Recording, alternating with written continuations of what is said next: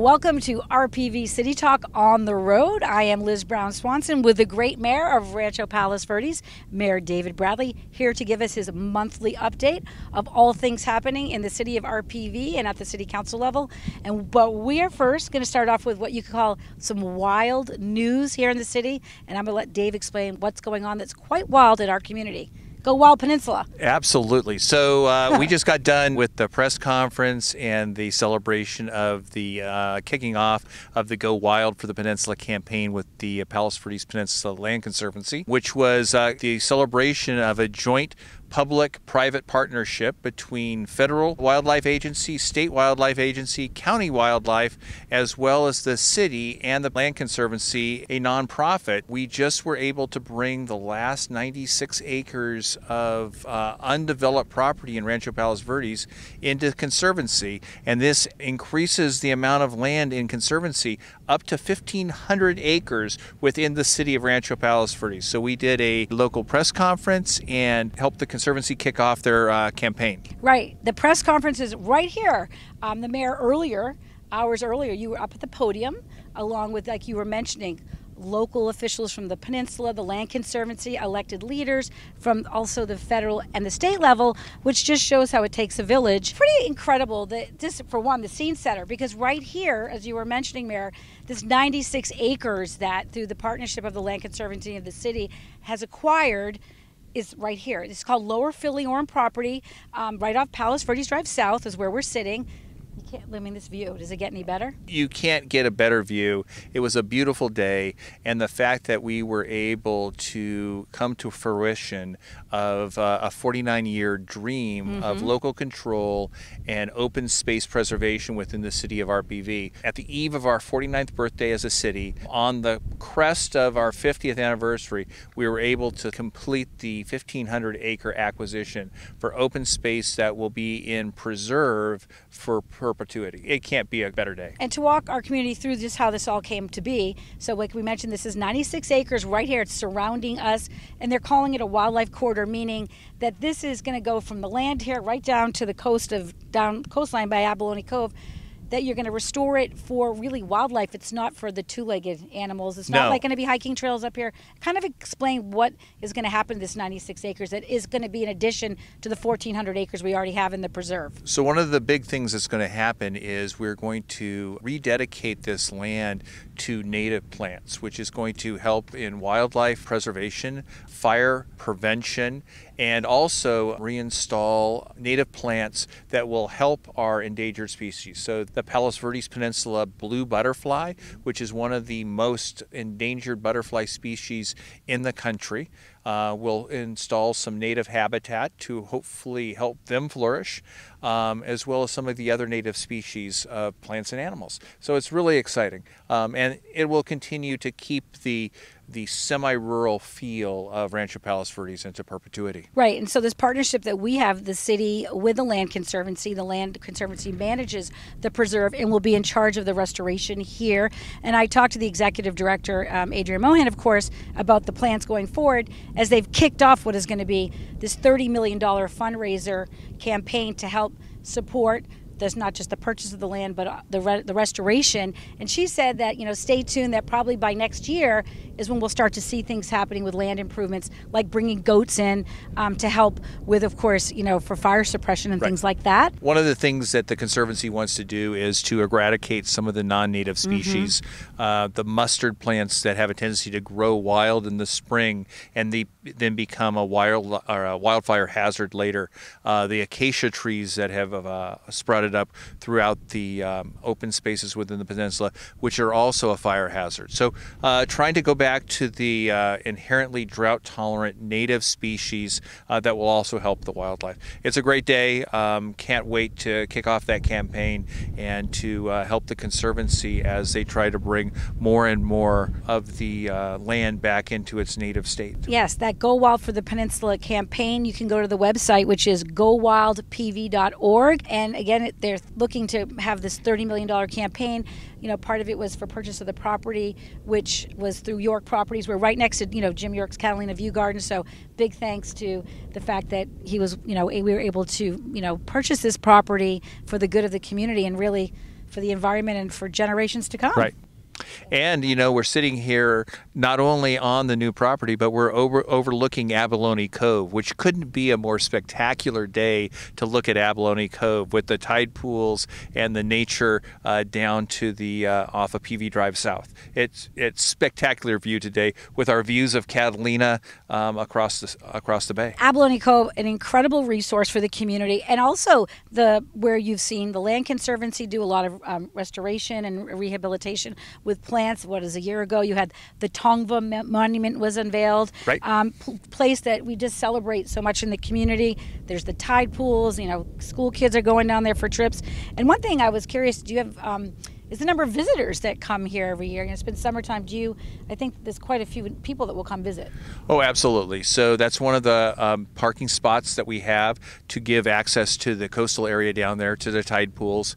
Um, so it is one of the places some of the visitors, and it's much easier to park there. And it's just a, a fantastic place to come, especially during the summer yes. uh, when we have uh, longer days. And I think there's about 60,000 visitors a year, I was told by staff and uh, just the parking revenues alone generate nearly you know a quarter million dollars for the city. Because we're talking about abalone cove it's summertime. We're, it's still summertime till september 21st summer's way busy here in rancho palos verdes. How about as you as mayor you want to give us a bit of a state of the city? How did we fare um, in rancho palos verdes from public safety to maybe park projects public works projects that took place during the summer that you can update the community sure. about so uh, we're about halfway through uh, the year. Um, actually, a little bit more than halfway through the year. Uh, the summer has been great. Um, we continue to come out of the pandemic, so uh, the city has been opening up. We've been able to have some of our major events. Uh, major uh, one was starting off with Whale a Day. Then we had the Fourth of July celebration. We've been doing the movies in the park.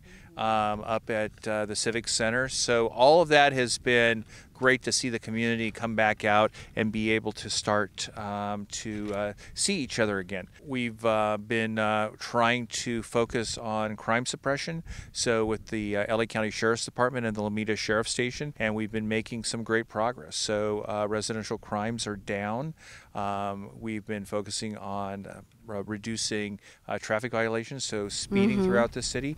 Um, we've uh, had the sheriff's uh, department do some traffic calming and focus on some areas that had gotten a little out of control. So we've reduced uh, the speeds in some areas. So all in all, the city has been having a phenomenal summer as we've come out of COVID, um, and we're going into the last part of summer. And I'd say whether it's summer, winter, fall, or spring, this Rancho Palos Verdes is the place where people want to be at. There's so much that we offer um, with open space and just this beautiful city that we have, often referred to as Los Angeles playground. Yes. Uh, this is a great place to play. Um, and so, with that, um, one of the biggest resources we have that attracts so many people is the Palos Verdes Nature Preserve. Um, and as we talk here in the show always about things before City Council, um, you, the City Council at its last meeting in August, you got an update about what's happening with the preserve you want to give us some uh, takeaways from that update? Yeah, we had the annual um, report from the Palos Verdes uh, Peninsula Land Conservancy on the state of the preserve and the uh, mitigation efforts that have gone on.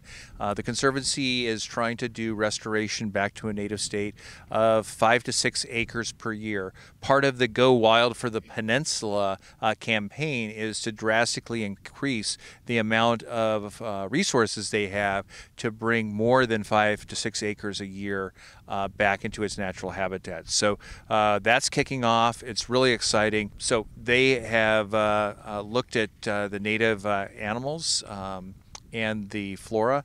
Um, Palos Verdes blue butterflies um, are not coming back quite as fast as we would like. So, one of the things that we need to focus on as we continue is uh, restoring habitat for the Palos Verde blue.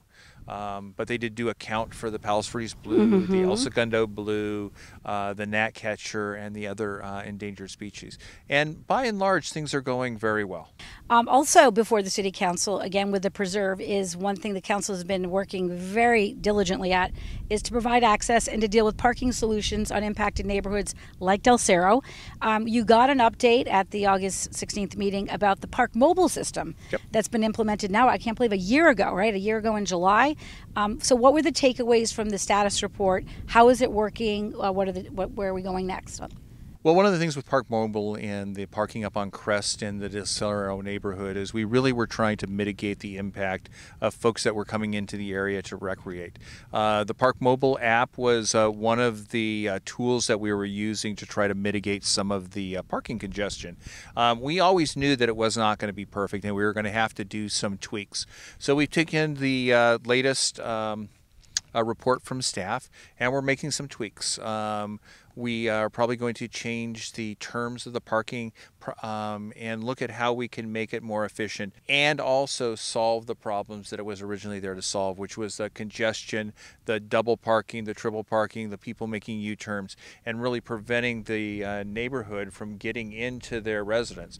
So, altogether, we're trying to make it a win win for everyone, for folks coming up that want to come into the Burma railhead or trailhead, mm-hmm. uh, as well as the Rattlesnake uh, trailhead. Both of them, we are doing upgrades on the, um, the fences and the gates to um, uh, allow access uh, during sun. Uh, uh, during daytime hours. Because the entrance there at Del Cerro, which the intersection we're talking about too, where the parking um, reservation systems in place, Park Mobile is at Crenshaw and Crest Road. Correct. But that is the busiest one of the it is the busiest access point to get into this preserve here. Yes? It is uh, one of the busiest access points that we had, and yes. um, during the pandemic there was a huge influx.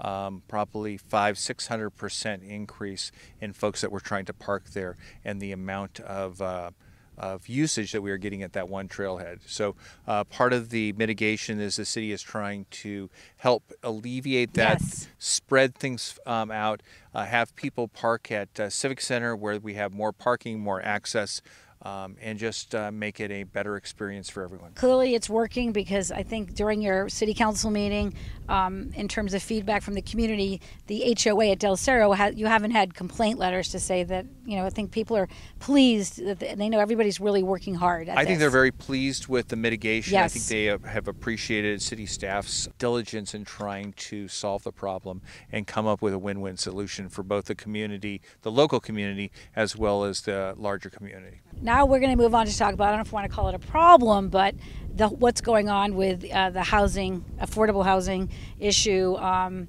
and uh, the city council in August usually you meet twice a month, but you had an additional meeting, which was to um, have a public hearing about the draft housing element um, that has been complete, right. for and uh, and uh, being submitted. So, can you explain to the residents what does this all mean? It's very, very important that you know the community understands what the obligation is for this city in terms of filling in housing on all levels, not just affordable.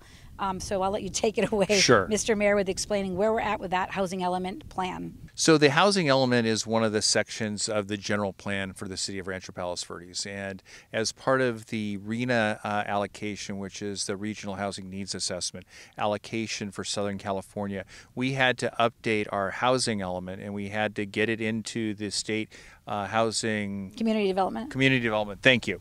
Um, All these the acronyms, acronyms, exactly. We take these acronyms and we use them so often they become words. So, and then sometimes we forget what they actually stand for. But anyway, we had to get the housing element updated and into the uh, the uh, HCD for their review. Uh, they needed 60 days review um, before our housing element had to be um, approved, or we would have been in noncompliance with mm-hmm. uh, each state legislator. Now, this housing element just has to show that we have a plan for zoning for the ability to uh, produce 648 additional housing units throughout the city. And that is for all income levels. So that's low, moderate, very low mm-hmm. um, uh, throughout the city. One of the things that the city council has really tried to do is spread out that across the city without concentrating it in one part of the city and really making a mess out of any specific portion of the city. Um, the city continues to push back on those numbers. Uh, the 648 units within a city our size and with the infrastructure and how built out it is is almost impossible to do. So we're really challenging HCD, and we're really pushing back uh, to try to maintain the semi rural lifestyle that we have really come to love, um, but while trying to also be compliant with uh, state right. statute. I know, and this, this the draft element that's put together, like in trying to work with the community and make this all come together. Initially, locations that were scouted around the city to put in these units, these homes. Um, has been reduced to about 30 areas. I think there was 50 plus sites maybe that were Right. Um, could have been designated. One of the areas that was looked at is where Marymount Cal- California University is, up there off um, PV Drive East. Um, the numbers of units that were initially going to maybe go into that area, as we all stand by to see what's going to happen to that property, um, it was scaled back a lot as well. So I think you know. It's, the city's doing all that you can to minimize the impact, and you know, just to keep density. That's something that's that doesn't affect our quality of life Correct. right? I mean, I know the process of coming up with the final draft housing element um, that's been submitted now to the state has gone on. You know, there's been workshops, meetings. Can you? T- is what's the next step now that it's been submitted? So we put the initial through. We got comments back from HCD. We've uh, gone back to them with questions. In fact, HCD even came to the city and walked some of our sites. Uh, the draft element has gone back to California, to the state, to Sacramento. Uh, they have 60 days to uh, review our updated draft and to provide us additional comments. So I um, assume that they will come back with additional comments. Uh, we hope that they will approve it within their 60 day review cycle and that we will be considered compliant. And uh, then we will have uh, three years to implement um, what is in the draft element. Okay, we're still going to continue to talk about housing issues in our city before the city council at your Absolutely. August 16th city council meeting. Uh, public hearing was held to introduce an ordinance that addresses the housing impacts of Senate Bill uh, number nine regarding what's things like urban lot splits, uh, two unit developments, and what are single family zones, unit zones. So. What does this mean for residents and property owners? What's going on with this ordinance that's right now in in the, in the works? So SB 9 was the urban lot splits and the uh, uh, ability to put uh, accessory dwelling units or ADUs um, by right um, on certain properties. Uh, this is our ordinance that is going to codify what you need to do to be able to be compliant with that. We want to make sure that there it's done safely. It's done in areas um, that have egress uh, for uh, fire safety. We want to make sure that there's infrastructure to support all of those additional units in ADUs um, and that we don't uh, over densify any specific area and make it unsafe for the public. So we're really trying to make sure that uh, we allow for uh, additional housing stock to be built, but built in a safe and efficient way that's uh, supportable by the land and uh, supportable for fire safety. Okay. Anything else you want to add on this topic that residents should know? Um, and we've been No, talking think- about Senate Bill 9 for a long time now. Absolutely. So we've been talking about our RHNA numbers. We've been talking about the housing element. We've been talking about Senate Bill 9, Senate Bill 10. Uh, there's many housing element um, ideas that are going around right now. Um, a lot of them have to do with taking local control away from uh, city government, um, which is one of the things that this our city was founded upon was uh, save our coastline, uh, local control, being able to be in control of our own destiny, and get away from the idea that Sacramento and a one size fits all is the way to go. Um, we live in a very high fire zone, and you know, ultra high density is not the safest way to build here. So we need to be able to uh, moderate uh, and be safe uh, while still trying to meet the goals um, from Sacramento. Uh, but we're continuing to push back on those uh, local control issues and wrest local control back to the city level. Right. There's movement, there's legal action being Absolutely. taking place right now. I think you also brought that up at the council meeting that if in fact this Senate bill gets reversed, what does this mean if you have, you know, these kinds of ordinances on the Correct. books? Um, you know, but there, there'll be ways to work with that. Get Correct. Take it one day as it comes along. Right. Um, and um, but if you want more information on this topic, just get on our city website. Absolutely. There's tons of information on the housing element, on what SB 9 means, what SB 10. You can read the draft ordinance, and the city staff and city council is always interested in our residents' uh, thoughts and, uh, and uh, letters. Now I'm going to have your thoughts from the August 2nd City Council meeting. I think maybe you were even traveling. I was. and Mayor Pro Tem. Uh, Barbara Ferraro ran, ran, that meeting, but some important topics came up. A couple ordinances uh, were introduced at the August 2nd meeting um, aimed at protecting the public and the environment. Um, the first ordinance has to do with the unlawful possession of catalytic, con- catalytic converters. Correct. Um, the other had to do with preventing the distribution of single food, um, single-use food single-use food accessories like plastic utensils. Yep. Um, so, just can you give us just a general overview of these two measures and what, what the, why this is before the council and what's going on? Sure. Catalytic converters have been one of the highest uh, theft items out there lately. Uh, the platinum that's in a catalytic mm-hmm. converter is very valuable. So you've seen several models of cars targeted extensively for catalytic converter uh, theft. The problem that we've had is the LA County Sheriffs, um, even the City of Los Angeles Police, have very little tools to be able to arrest people unless they catch somebody taking off a catalytic converter, basically catching them in the act. Um, so, what had happened would be people would have 10, 15, 20 catalytic converters in the back of a pickup truck, and they'd say, Oh, they're ours. But because we never were able to catch them in the act, we could not arrest them. Mm-hmm. So this is an ordinance within the city to say you have to have a bill of sale right. for the catalytic converters. You can't just, uh, with the presumption that they're yours, you have to prove that you've obtained them lawfully. This just gives uh, the Los Angeles County Sheriff another tool to help us uh, prevent those thefts. Um, on the single-use plastic items, uh, this is um, intended as a win-win help the environment but also help our local businesses and give them an ordinance where they don't have to provide these single-use plastic utensils uh, for takeout, uh, only on a request. Right. Basis. So when you order takeout, you're not supposed to be asked, "Do you want napkins?" This Correct. and that. If you request it as a consumer customer, you that's okay. But it's absolutely. It's, I know. I personally have a entire shopping bag full of plastic utensils that we've gotten uh, for various takeout.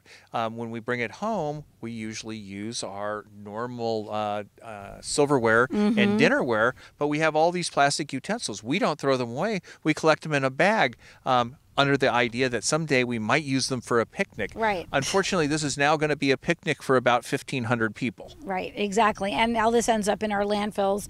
The, it's tons and tons and millions of exactly. tons of waste that so, they're aiming to, to keep out of our out of our environment. Um, even like the single-use packets, like ketchup correct. packets and things like that, exactly. that pile up in your car. Right. So well, good. So then, so that was that all happened at the beginning of August. Um, now we're going to move on to talk about uh, fun stuff going on in the city. It's always fun in RPV, especially Absolutely. with you as mayor. You're like the king of fun. But I don't think you were the king of the pie eating contest on the Fourth of July. But we won't bring that up. I don't want to put, bring that back up, but I did. Oh, sorry. We're going to talk about one thing that's near and dear to your heart, not the pie contest, but Sakura City, because you've been there, and yes. we are sister cities with Sakura City, and I can't believe it's been two years. It is. we had, had our recent partnership with them. Absolutely, we had our recent uh, anniversary of our second year of codifying the sister city relationship with Sakura City. I fortunately have had the opportunity to actually tour Sakura City. Yes. Um, phenomenal people, very like-minded, um, and our exchange program with Miraleste Intermediate School, with an mm-hmm. intermediate school in Sakura City, continues. Now it's back in full swing now that we're out of uh, the pandemic. But we were able to celebrate our uh, second anniversary third anniversary is going to coincide with the 50th anniversary correct, correct. of the city. Uh, and the city council, or actually the mayor and a couple of the city council uh, uh, people from Sakura City will, will, be here for our 50th anniversary celebration uh, to tour the city and to uh, to celebrate the third year of our sister city uh, and the second year celebration was done virtually, um, and you participated in that. Uh, what were some highlights for you? Did you? I think that was a traditional Japanese dance that they were they were teaching. I don't I don't know how you clicked your heels there on There was a traditional Japanese dance. We did try to do the dance. I hope that has been stricken from every uh, city website. Um, I'm not sure that that, uh, that that that that that should be stricken somewhat like my loss in the pie eating. Yes, contest. we're going to put that. You've got Yes. But uh, Hugo, um, one of our students here within the city, who also received a uh, uh, citation from the city, Japanese American heritage, uh, was born in Japan. This was is the ten-year-old violin player. He, virtuoso, Virtuoso. violin player, was able to play another concerto uh, with his uh, violin teacher uh, as part of this celebration. Um, he speaks Japanese fluently as well as English fluently, um, so it was really special to be able to add that to our celebration. And I thought we could wrap up with a special mayor's announcement with just because of the city's 50th anniversary campaign kickoff, September 7th, 7 17. I'm really taking us back. September 7th, 1973 uh, is 49 years ago, where Correct. the city first incorporated. So now we're kicking off the build up for the one year party that We will have um, next year. But what an exciting way. T- let's tell the residents what's going to happen to kick off this campaign in September. Uh, take so in away. September, early next month, we will be kicking off uh, the 49th year, and we'll be having an event every year, every month Mm-hmm. uh, for the entire year. The first event is going to be the renaming of the Rancho Palos Verdes Civic Center in honor of Councilman Ken Dyda. We had to make a special exception to do this, but the fact that Councilman Dyda is currently serving on the City Council 49 years after he was one of the founding City Councilmen and really helped found the city of Rancho Palos Verdes and was uh, instrumental in the Save Our Coastline um, campaign, uh, the fact that he is continuing to serve on the council 49 years later is a tribute to his dedication to Rancho Palos Verdes. And we thought it was only fitting that on the eve of our 50th anniversary that we rename the Civic Center after Councilman Ken Dyda um, which will set us up for our 50th anniversary, and the Civic Center Revitalization Project, which is one of the major capital um, efforts that is in front of the city as we look to redesign the Civic Center uh, to a new modern Civic Center that all will- serve all of the residents of Rancho Palos Verdes. Yes. Um, when you mentioned about uh, council member and founder legend Ken Dyda um, being part of the original Save Our Coastline, that, that how, how we incorporated as a city. And as we sit here on this beautiful coastline on this gorgeous day, I think we need to dedicate this city talk to Ken Dyda. I agree. I couldn't agree more. Uh, if it was not for Councilman Ken Dyda, we would not be looking out over a beautiful rural coastline that is uh, home to many native uh, species and plants, but we would be looking at a very dense coastline that was uh, completely built out, and it would have a, just a completely different topography than we currently look at. The only thing that would make this perfection is if we had a Palos Verdes blue butterfly come flying by. But it, I, I know that he, that It's butterfly, not the season. that It's not the butterfly's season. waiting in the wings. Exactly.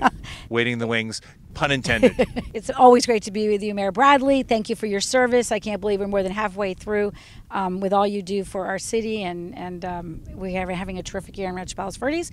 Uh, with that, I'm going to say we're going to sign off here at Lower Filiorum. Um, I feel like on top of the world. we are on the top of the world. I'm Liz Brown Swanson. I'm Dave Bradley, and I'd like to say in closing, let's go wild for the peninsula. Thanks for joining us.